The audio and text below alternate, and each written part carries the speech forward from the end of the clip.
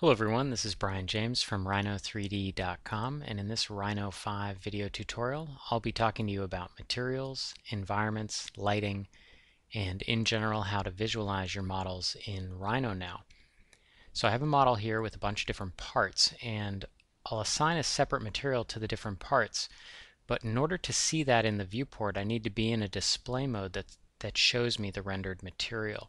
So if I go over into the display panel there's a drop down list here and it tells me that I'm in shaded. So I'll go down to rendered and I still see the model in white but now I see it with some shadows on it because I'm in the rendered display mode. The background right now is using the rendered settings and that's accounting for this gray color. So if I go over into the environments panel you can see the background is right now set to solid color. You can click on this color swatch and change the background color to whatever you want. You can also click on this little arrow to the right of the color field and use an eyedropper to pick a color off of somewhere else on your screen or copy and paste a color from one color field into another somewhere else in Rhino. I'll change to an environment and then click the plus symbol here and create a basic environment. This basic environment now is controlling the visible background set in the rendered display mode because we're still using the rendered settings. You can override this through the drop down menu here to be a solid color or a gradient or a set image file for instance. You can also add an image to an environment and these images will wrap into the spherical space around the model. A common projection type for images that are used in environments is called equirectangular and a couple examples of this are included in the libraries panel already for you. You can go into the libraries panel, open up the environments folder, and you'll have three examples of what I'm talking about. You can find more high dynamic range environments in this projection online or on the food4rhino.com website. I'll left click and hold and move the Rhino interior environment to the environments panel and then I can double click on that and you can see how it changes the background. But the model right now just has this default white material. There's really no gloss or reflection at all on this material, so we're not seeing that environment reflected yet. I'll go back into the libraries panel here and I want to get back to the root directory that gets installed with Rhino that has all the materials and everything that I can start dragging and dropping. And the fastest way to do that is to just click on the little wrench icon here and go to rendered content and that'll bring you back to that root. I'll go into plastic, drag and drop this plastic high gloss and you can see the um, sheen that you get, that specular highlight that you get right away, but it's not reflecting the environment or noticeably so because the environment is all gray. So I'll go back to that environment panel, switch to the one with the HDR environment, and you can already see the effect of using one of these types of images. I don't want to see the environment through what is the ground plane here, the surface underneath. So the fastest way to make the environment not seen in that area is to turn on the ground plane in Rhino. So I'll go into the ground plane panel and just check on. Now if you have a view of your model like this and you don't want to see the environment in the background, you can disable it as part of the display mode. So we could just go into background here instead of use render settings. We can say solid color. And the render display mode is still using that environment for the reflections, but we don't have to look at it. And I'll start dragging and dropping some other materials. Let's see, go into the metal section, grab the silver, and the silver will double as a chrome here. And if you have an object selected in the scene, you can go over into your materials panel and you'll see instances of the materials you've added to this Rhino file so far from the library. These are separate from the swatches in the library. These stay untouched. They won't be edited. So they just get added to this materials panel as soon as you drag and drop them. And so I have the silver here that I can highlight and then right click over and I see a whole choice of other things that I can do with this material swatch such as save it to an RMTL file. But right now I'll just choose this top option which is to assign to selection because that's another way that I can assign materials. You can also take a material and duplicate it through that right click menu and I can drag and drop that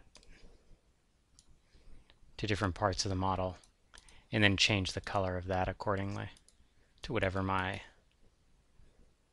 design goal is.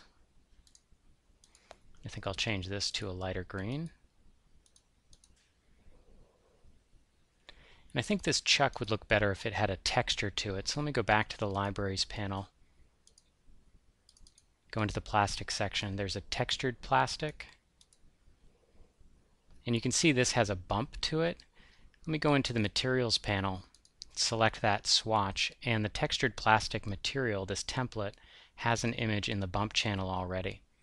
If I click on that image, it takes me one level deeper into the material, and here I have some controls for how much this image is mapped in the bump channel. So I'll lock the U and V repeat values together by clicking this little link icon, and then I'll just change one of them and press enter and that'll keep it uniform in both directions.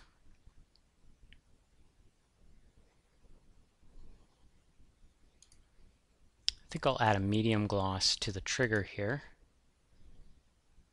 and back in my materials panel just make it a darker color. Let me get a view where I can explain just a little bit about the gloss slider here. If you have the gloss slider further to the left, you get a big big bright sheen spot like that, the gloss is spread out. And if it's further to the right, it gets more condensed and you get a brighter but smaller spot of gloss.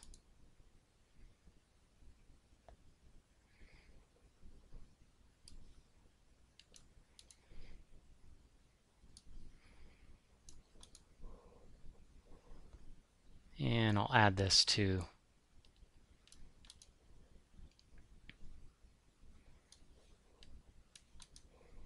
that one as well. There we go. Okay, so right now what we're looking at is all done on the graphics card. So this is an OpenGL displayed viewport, and that OpenGL viewport can be captured to an image file through the display toolbar group. So there's an icon here with a camera on it, and if you left click on that icon you'll capture the active viewport and the size of the active viewport to a file. If you right click here, you'll capture it to a clipboard so then you could paste it in a, another program.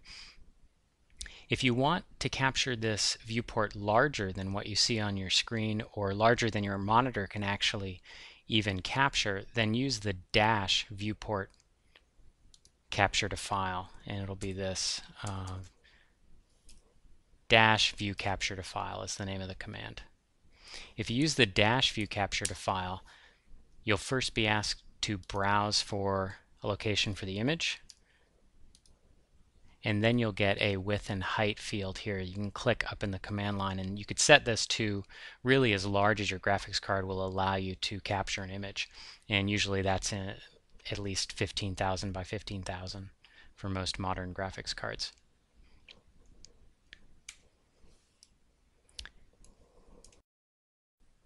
You can do a lot more with these display modes too. If I go back into the display panel, you can see a bunch of general checkboxes for controls for this model. And you can turn on things like surface edges or ISO curves.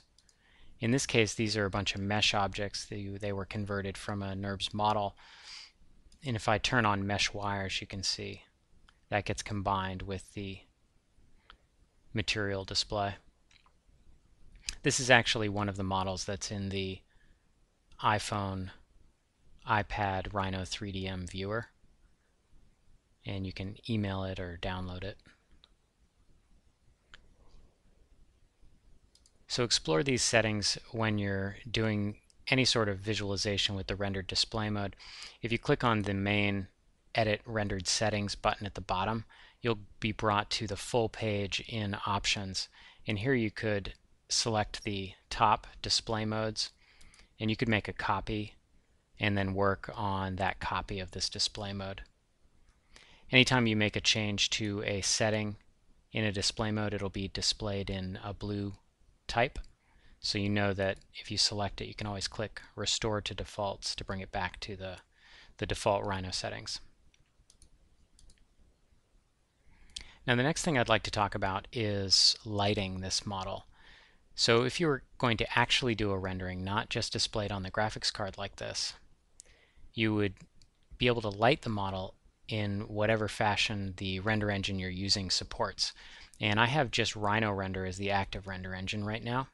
So if I go over into the rendered tools toolbar group, I can see a bunch of light objects. And I'm going to make a few rectangular lights. So let me get back out here to my four views and I'll make a rectangular light using my grid snap here just to keep things uniform. I'm going to make a rectangular light here and drag it in front of my model.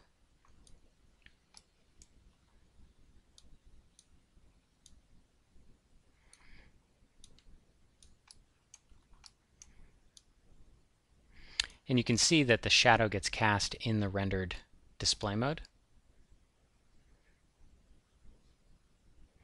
Now you can make rectangular lights in V5 by choosing a target for them, but I want to rotate this exactly at 45 degrees, so I just made it straight out in the right view here, and then I'm going to select it and use the rotate command from 0. I'll hold down shift and left click, and then type 45 and enter. And then I'll mirror this across the x-axis to make a copy of it exactly at 45 in the other direction, or 90 degrees from where it was. And then I'll make another rotated rectangular light here, but this time I'll do a copy. So I'll make copy equals yes, and I'll rotate it from 0 again to almost directly behind the model, and then enter. So now I have three rectangular lights surrounding the model. This is a traditional three-point lighting setup and we'll call this one the key light and this one should be the most powerful one. And then this is the fill and that's slightly less bright and then the dimmest of all will be what's called the rim light which is right behind the model. And you can adjust the power of any light object in Object Properties and then the Light section when that light is selected. So I'll make the key 80% intensity, and I'll make the fill 50, and then I'll make that rim 20.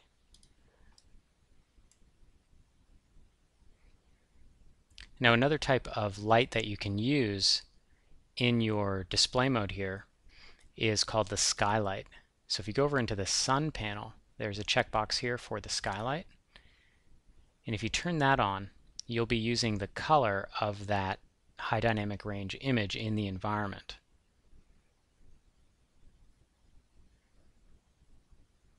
Now this looks pretty good, but it's not as realistic as I'd like. So I'm going to use a free plugin that we're making called Neon as well to show you how good this can look in the viewport directly.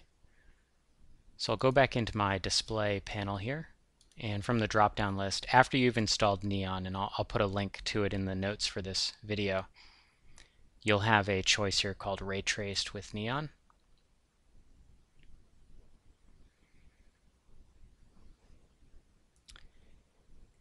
and my environment image needs to be lowered in intensity. So I'll go over into my environment.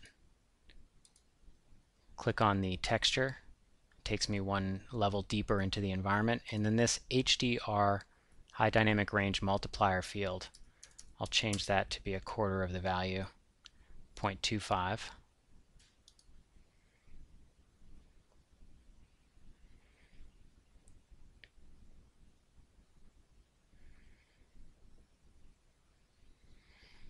And now we're actually ray tracing, which means that the light is bouncing around between the objects. It's not just um, sort of like a video game effect as in the OpenGL viewport, the rendered display viewport.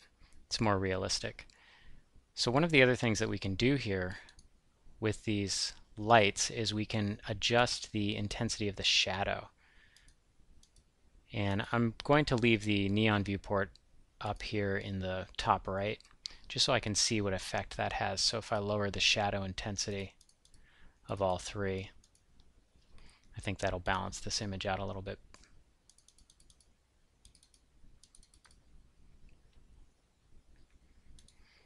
I don't want to see as strong of a shadow from the light behind the model.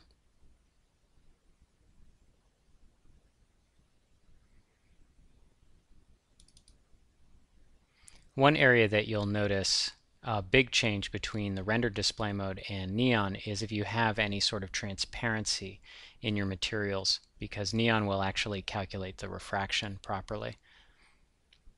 And I can show that by going into the transparent material section in the library and I'll use plexiglass here so that we can see through that housing.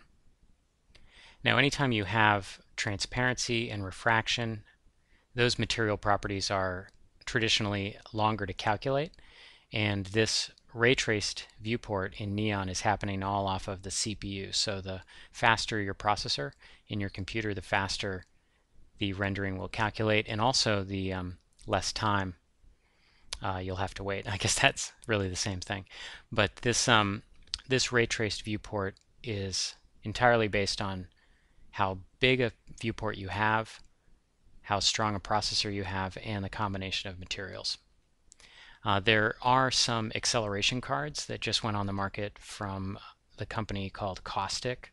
So there's an R2500 card you can get for a desktop system, and that'll speed up uh, Neon as well. But if you don't have one of those, uh, Neon will just use the CPU.